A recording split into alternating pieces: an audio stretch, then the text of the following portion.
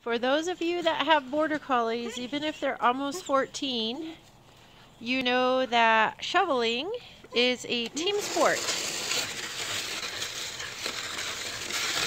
Nice job, guys.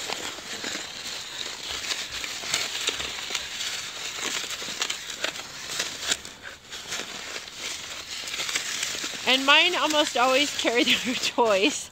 What got you? Did that cage get you? Story has shoveled with me like this for almost 14 years now. He's the overseer of the snow. I think Mama Beetz is our only puppy who prefers to not have toys in her mouth. Um, she likes to monitor her mother's movement more than anything. What are you thinking, Rhumb? What are you thinking? Good girl. Okay. Massimo, where's your toy? Massimo, go find your toy. And it actually, I like it better when they do have toys in their mouth because then they don't bite at the shovel.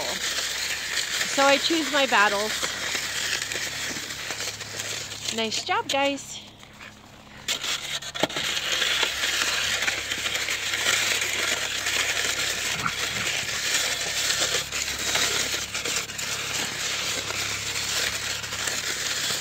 Nice job.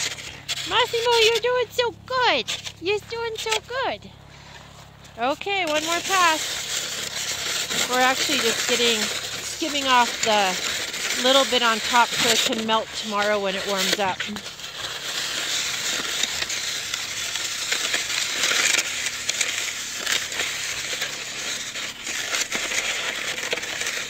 Good job, Story.